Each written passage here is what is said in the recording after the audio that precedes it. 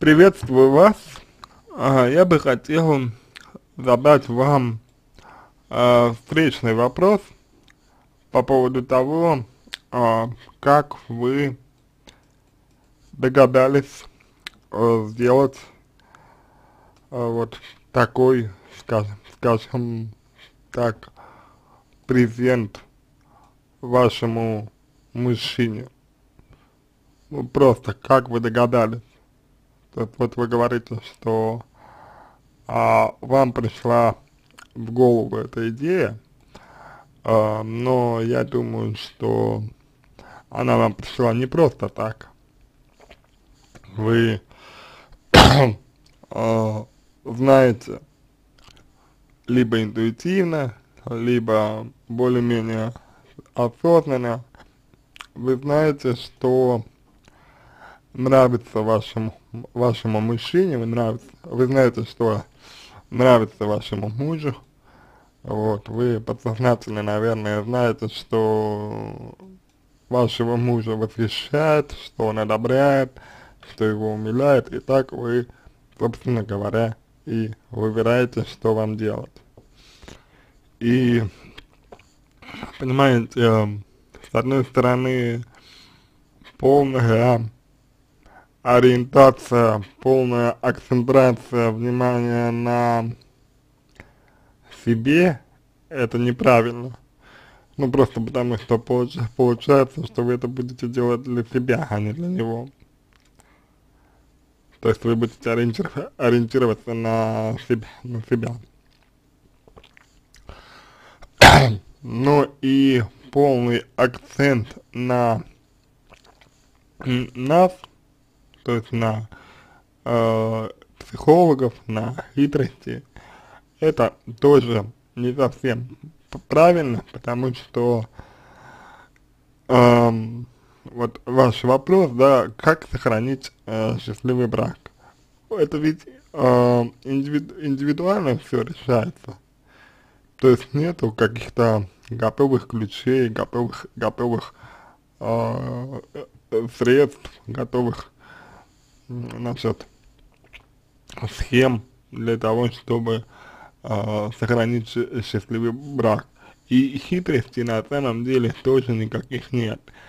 А, наоборот, я полагаю, что вся хитрость в том, чтобы знать своего партнера, знать, что ему понравится, и вот уже как раз таки исходя из этого, исходя из того, что ему понравится, исходя из его особенностей психологических, да, исходя из его э, предпочтений, желаний, исходя из его интересов, исходя из его взглядов, исходя из того, что ему нравится, вы уже и будете что-то делать. А для этого нужно лучше узнавать своего супруга. Для этого нужно как можно больше с ним общаться, как можно больше у него спрашивать какие-то вещи, как можно больше а, задавать ему вопросы, интересоваться а, тем, что интересуется он вот, активно. Стараться знакомиться с этими э, вещами, тем, что интересно ему, понимаете, а вы, вы, как будто бы своего мужа не знаете настолько, э, чтобы знать, как сделать так, чтобы ему было хорошо. Такое ощущение, как будто вы не знаете.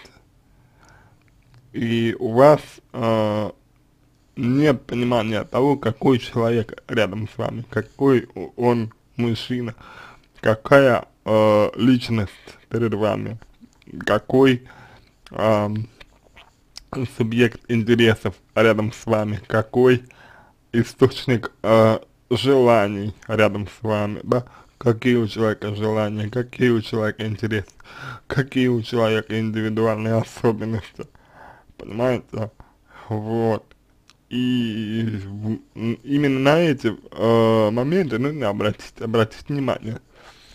Эм, что хот хотите сделать вы?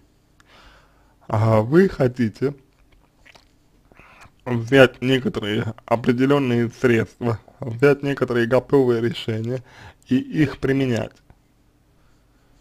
Вот, нап например, а, вам дана рекомендация, да, коллеги, относиться к сексу как к игре. Окей, все здорово. Но что, ну, что, что делать, если, например, мужчина, ну, скажем так, э, более узких взглядов в сексе? Да, что делать, если мужчина, например, не воспримет подобные предложения? Не, не подходит. А вы возьмете и будете пробовать. Понимаете? И это породит некую механистичность а, в том, что вы делаете. И, на мой взгляд, это далеко не самое лучшее решение. А лучшим решением будет это обратить внимание на то, какой человек рядом с вами и э, что он из себя представляет. И исходя из этого уже э, что-то для него делать можно э, проспрашивать э, его знакомых, что ему нравится, там, что и так далее. Можно понаблюдать за человеком, а можно просто больше проводить с ним времени, что, в принципе, является самым лучшим вариантом.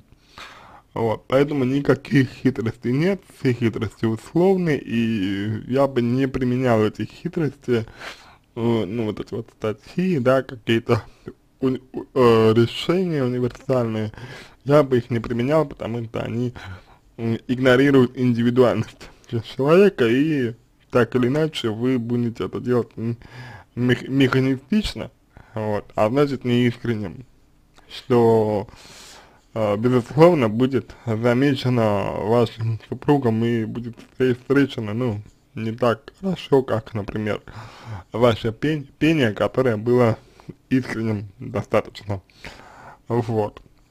Значит, смотрите, а, вы задаете, э, точнее вы пишете несколько важных вещей, на которые я хотел бы обратить ваше внимание. Первое. Э, вы пишете, что раньше слова, что отношения, эта работа были пустым звуком для меня. Что это значит?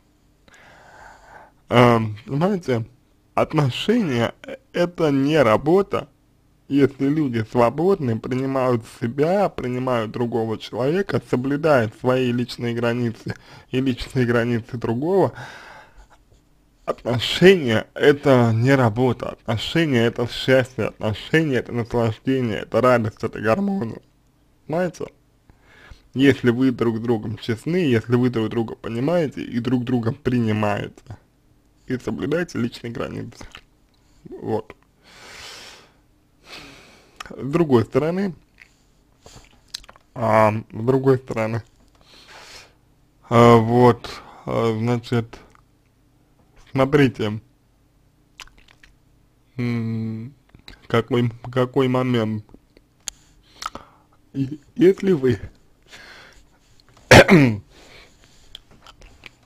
говорите, что, а, а, значит, отношения это работа для вас пустой звук, то возникает вопрос тогда, а как же вы э, выходили замуж за своего э, супруга, э, ну, будущего? э, вы говорите, что значит, любимый человек, то есть вы его любите, наверное, вот, то есть это как-то нужно скоррелировать. То есть если раньше вы отношения обесценивали, то сейчас вы отношения, наоборот, возводите на пьедестал. Никто ни другое не, не является чем-то правильным и хорошим потому что обесценивание отношений, это неправильно, это обесценивание себя и обесценивание другого. А возведение, возведение отношений на пьедестал, это наоборот, э, растворение себя в другом. Ну, это я, конечно, говорю э, в абсолюте, но надеюсь, что вы меня поняли в этом моменте. Дальше. Значит, вы пишете, наконец я вышла замуж за любимого человека. Здесь опять, опять же э, непонятно слово наконец. То есть, что значит, вы давно хотели замуж и вышли, или вы, э, как-то вот нужно пояснить, я чувствую, что здесь какое-то какое-то эмоциональное наполнение есть. Вы пишете, что значит, вам 29, ему 32 года, э, встреча, э, встречались с неясной перспективой и кучей проблем около двух лет. А, тоже интересный достаточно момент, а, куча проблем, из-за чего, каких, готовы ли вы их решать, эти, эти проблемы, а, почему не решали до брака, насколько эти проблемы ага, важны, насколько эти проблемы серьезны, насколько эти проблемы ага, влияют на вашу жи жизнь и так далее. Вот. То есть все это нужно обязательно выяснять. Вот. Нельзя так просто взять и оставить а, проблемы позади, они будут давать о себе знать. Вы пишете, э, иногда возникают трения и шероховатости в общении. Ну, э, кто-то считает, что это, нормально, кто-то кто, -то, считает, что есть э, естественный период притирания между супругами. А, лично я считаю, что шероховатости и трения возникают в первую очередь из-за поведения одного человека. То есть, либо вы забываете о том, ради чего вы с этим человеком, почему вы с этим человеком начинаете его видеть немножко по-другому, то, есть, грубо говоря, пытаетесь подделать под себя. Ведь когда-то вы его приняли таким, и проблему вы приняли. Вот, а теперь это трение и шероховатость, да, то есть как, как будто э, человек после того, как э, стал супругом, да, э, должен был поменяться, или как будто вы считаете, что, э, ну, что он должен поменяться, или как будто вы начинаете пытаться его поменять. То есть э, здесь вот, на мой взгляд, есть смещение в сторону э, эгоистичности, в сторону эгоцентричности и, э, по сути, отход э, от э, другого человека. вот. То есть трение э, в общении это нормально. Вопрос в том, как вы к этому трению относитесь что есть трение. Шероховатость и общение это нормально, так называемые горячие точки в семье, по которым у людей есть как бы, ну, разные взгляды, разные мнения, и вот нужно здесь отыскать компромисс. А вы этого не делаете, вы, наверное, предпочитаете просто избегать, да, проблем. проблем. Вот. А вы пишете, как как сохранить счастливый брак, да, а вы пишете так, как будто брак это что-то отдельное от вас, понимаете? Не будет счастливого брака, если вы будете несчастливы или если ваше счастье будет зависеть от другого. Не будет счастливого брака. Понимаете, потому что счастливый брак это совмещенное счастье вас обоих. Если вы сами по себе несчастливы, то, то и брак счастливым не будет. Понимаете? Поэтому для того, чтобы сохранить счастливый брак, лично вы можете сделать счастливой себя и насколько это возможно своего э, супруга. Дальше. А, как максимально на наполнить семейный путь приятными воспоминаниями и эмоциями? максим, максимально наполнить семейный путь приятными воспоминаниями и эмоциями.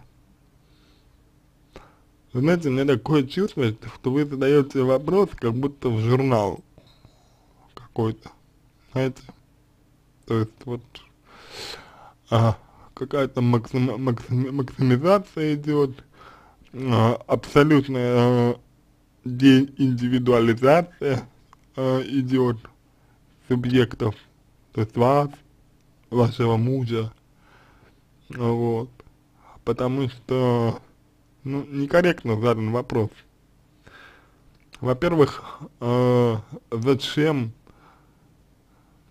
во-первых, максимально это оценочное суждение. У каждого человека э, максимальная наполненность, она разная. Вы можете говорить только о себе, о своей степени наполненности, ну, например, приятными воспоминаниями и эмоциями. Дальше. Если приятных приятных э, воспоминаний будет много, и эмоций будет много, то рано или поздно все это э, сольется в один такой калейдоскоп бесконечный. И как-либо реагировать на это вы перестанете. То есть счастье это перемены, счастье это э, ток, счастье, счастье это маятник, качели, да? То есть, э, значит, не, не нужно на, наполнять постоянно, должны, должны быть чередования. То есть, как бы, спокойствие, счастье, спокойствие, счастье, спокойствие, счастье. А не так, что постоянно приятные воспоминания и эмоции. Такого не бывает, потому что бывают и проблемы, бывает и негатив, бывает стресс, бывает форс-мажорные обстоятельства, бывает человеческий фактор, в конце концов, когда человек просто поступает так, как он сам от себя не, не ожидает, да, вот. От этих, от этих моментов не оградишься и защититься от них можно только э, тем, э, что есть у вас, внутри вас, гармония, уверенность, э, ну, может быть, вера в другого человека, может быть. А, ну, если, если говорить об этом, то здесь вся, самое, самое главное не переборщить, то есть, чтобы вера в другого человека а, не заменила веру в себя.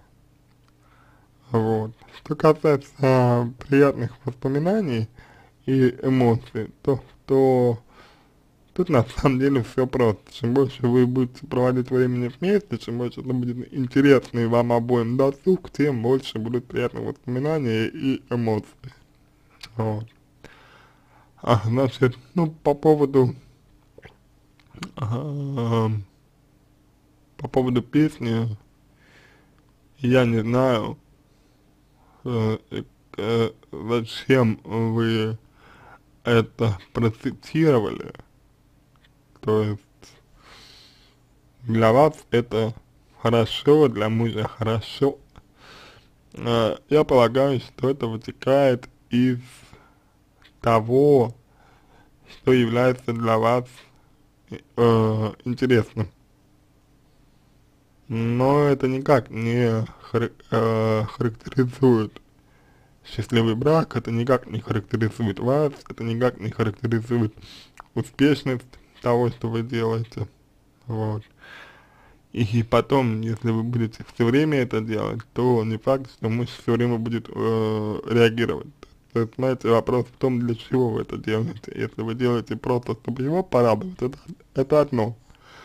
Если вы делаете, чтобы получить его похвалу, это другое. Знаете, первое нормально, второе зависимость. И с, э, с зависимостью нужно работать. Потому что это самооценка, неуверенность в себе и так далее. Значит, так, что еще придум придумать? Пишите вы. Э, про это я вам говорил уже про это я говорил, вот, соответственно, ну я не думаю, что имеет смысл повторять. А, как не злиться на некоторое непони непонимание, какое изредка возникает, возникает. А, ну, смотрите, а, здесь есть два момента. Первый момент, он заключается в том, что злость это ваша обида, это ваши ожидания, это то, чего вы хотите. И, и когда вы злитесь, вы перекладываете ответственность за это на другого человека, что является детской позицией. Детской либо родительской позиции. Это неправильно. Что, точнее, это деструктивно. Если вы злитесь, это вы злитесь, это ваши чувства.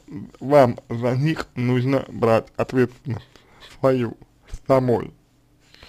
Но это ваша злость. Это первое. Второе. А, полное понимание между людьми ведет, ведет к тому, что люди э, не чувствуют разницу между друг другом. И, соответственно, они видят друг в друге себя. То есть они привязываются друг к другу и друг без друга вообще не могут что э, создает э, э, феномен слияния. Вы можете почитать об этом. И в, при данном феномене люди оказ, оказываются беспомощные, каждый сам по себе. И у меня вопрос, вы этого хотите для себя и для мужа, говоря о недопонимании? Понимаете, одно дело, когда недопонимание вредит, откровенно вредит вам, откровенно вредит вашему мужу, откровенно вредит вашим отношениям, вызывает стресс, негатив, боль, а, соответственно, там, ущерб, ущерб и так далее. И другое дело, когда недопонимание является проявлением индивидуальности человека.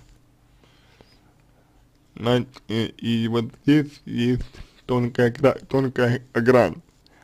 За злость, за свою эмоцию несете ответственность вы, а за недопонимание, то есть за э, индивидуальные различия, несет отношение э, другой человек, и вы в том числе. И вот здесь мне кажется, что ваш вопрос, опять же, является довольно таким, ну, как, сказать, как, как это сказать, модным да, то есть просто вот взять и перестать зли, зли, э, злиться, то есть как мне взять и перестать чувствовать, но ведь это вы, это ваши эмоции, это ваше чувство, и его нужно правильно выражать. Пока оно выражается неправильно, оно выражается в виде злости, это неверно. Это деструктивный путь, скорее всего, посмотренный у вашей семьи. Вот.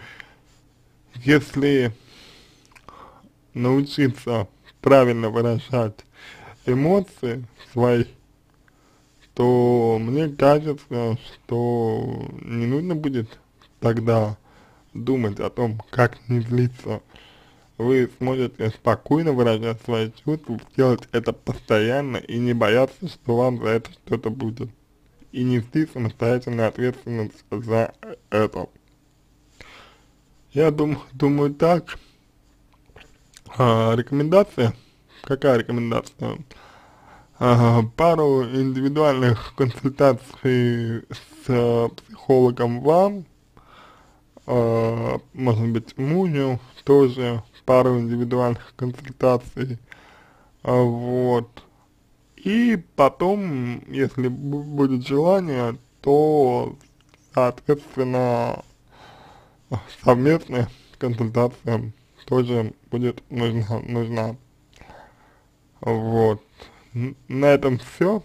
Я надеюсь, что помог вам. Если у вас остались дополнительные вопросы, вы можете задать мне их в личку. Я буду рад помочь, если вам понравился мой ответ. А, буду благодарен, если вы сделаете его лучшим. Я вам желаю всего самого доброго и удачи.